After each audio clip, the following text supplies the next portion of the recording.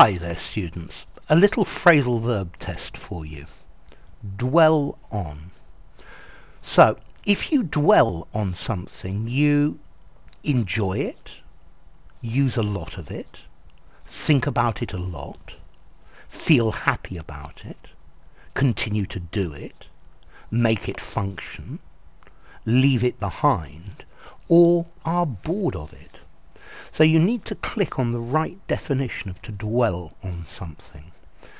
Okay, if you click on the right answer it'll take you through to the well done screen in the main menu and you can choose another exercise.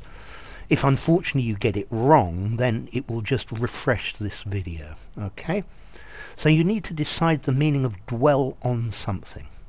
If you dwell on something you enjoy it, use a lot of it, think about it a lot, feel happy about it, continue to do it, make it function, leave it behind, or are bored of it.